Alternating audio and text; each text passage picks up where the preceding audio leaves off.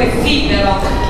E ogni anno sembrerà l'altro ieri, ormai sono passati 22 anni, e negli ultimi anni il contenitore musicante del parco, questo grande festival ormai popolare, non so neanche come definirlo, Giovanni, popolare, jazz, artistico, correttico, di tutto e di più, è diventato una realtà, è una manifestazione che piace a tutti perché c'è un po' di tutto ed è accessibile a tutti anche perché c'è questo specie di passi soltanto di 2 euro per le spese vive dell'associazione musicante e trascorreremo insieme un'estate di ricchissima di appuntamenti, ci sono, c'è il calendario con tutte le date. L'inaugurazione è questa sera, questo bellissimo 24 luglio, lunedì. È un lunedì bellissimo nonostante queste temperature roventi e io sono contentissima perché ho voluto fortemente inaugurare eh, il festival quest'anno con un'opera di Sergei Prokofiev, un autore a me tanto caro, mi ricordo del conservatorio, cioè la Cenerentola. Io chiamo prima la ballerina che mi deve stare un attimino più vicino, Ludovica.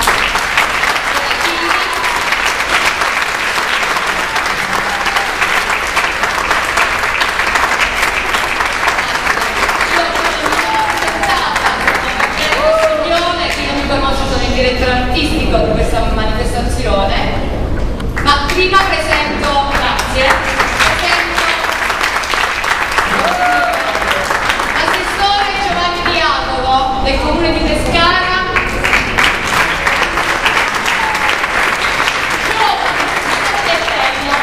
assessore, che è una persona veramente di grande spessore culturale, a prescindere dal partito politico e dalla politica che a noi artisti francamente non ci importa per niente, perché l'arte comanda e è crisi. Prego Giovanni. Grazie cara.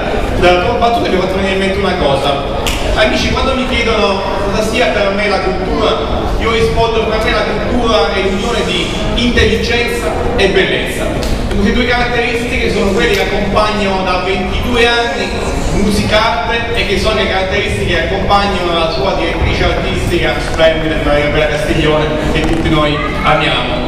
Perché vedete, io sono un assessore che tendo molto a promuovere il contemporaneo, l'innovazione, ma nel fare questo bisogna essere paladini, artigiani di quelle iniziative che nel corso degli anni vengono amate sempre di più dalla città, amate dalle generazioni, da ogni tipo di persone in questa città. E crescendo nel corso degli anni vanno aumentando le popolarità, basti vedere la pienza di questa sala e per contenti. Perché non tutte le iniziative valgono perché durano parecchio, durano molti anni. Quando qualcuno mi dice l'iniziativa dura da 7, 8, 10 anni, io rispondo sì, ma con quali risultati? Vanno capiti anche i risultati. Ebbene, se uno mi chiede con quali risultati un'iniziativa del genere, basta un colpo d'occhio di questa sala, della pienezza di questa sala e della grandezza del cartellone che Maria Castiglione fa ogni anno. Cioè qui abbiamo un programma fittissimo, ricchissimo, talenti e talenti nazionali che esplorano tutti i linguaggi della bellezza legata alla musica, alla danza. E ogni volta a fine della rassegna talmente tanta entusiasmo la partecipazione che Maria Bella gli fa Giovanni, qua lo riparlo anche che ne so, sotto Madame e certamente ci mancherebbe che non confermiamo tutti gli anni non una ma due edizioni di musicarte, vista che così amate, così tanto bene fa la città e così tanto nutre di cultura, di bellezza questa città che noi amiamo. Grazie senza contenta stare, non di niente, solo della storia di quello che fare. Grazie a tutti, grazie.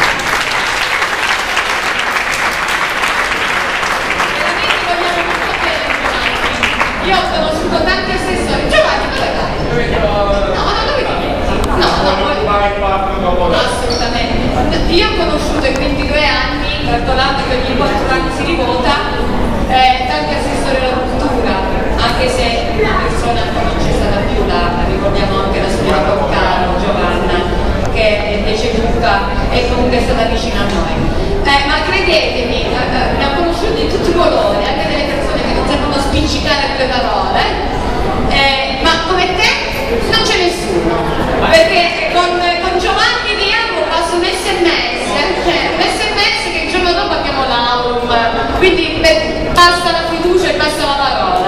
Grazie mille, ti ringrazio per Pescara e ti ringrazio a Cultura. Grazie, grazie. Allora, cortesemente io vi chiedo, tu sarai d'accordo di spegnere i cellulari, di non parlare al cellulare. Ringrazio di cuore e voglio che si alzi in piedi perché un, un applauso gigantesco Ludovica a Giancarlo Ranieri perché riprenderà in integrale